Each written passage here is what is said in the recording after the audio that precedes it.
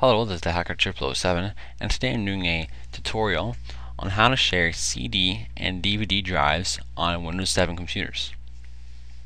Now many uh, computer nowadays um, don't come installed with like netbooks, don't come installed with CD drives.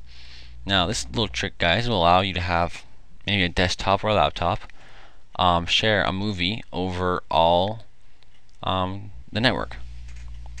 To do this guys just open up my computer.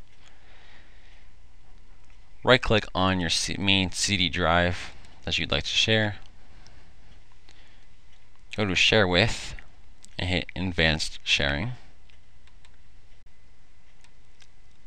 Then go to advanced sharing again. Click share this folder.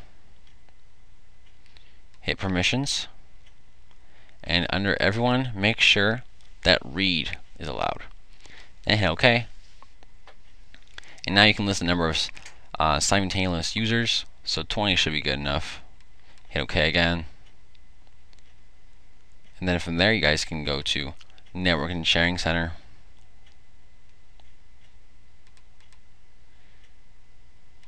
Go make sure you click Home or Work. And make sure turn off password protected sharing is off. Make sure that is clicked. And hit Save Changes and then you can exit out of that. And then guys you have basically now you're, you're now hosting whatever's in that C drive. Now guys you should have noticed that there's, there's a little uh, sharing symbol there. And now I want to show you guys a little picture tutorial um, taken from a different computer on how to actually set it up so you guys can get this CD drive on a different computer and watch the video. So second part of the video coming up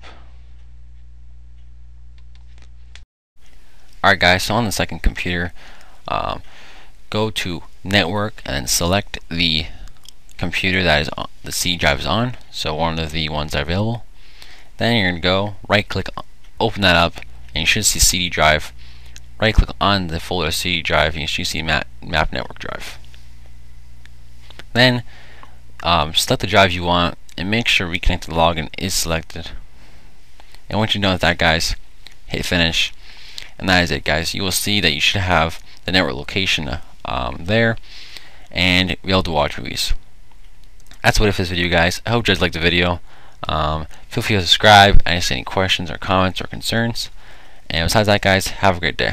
This is Hacker 007 and I'm signing off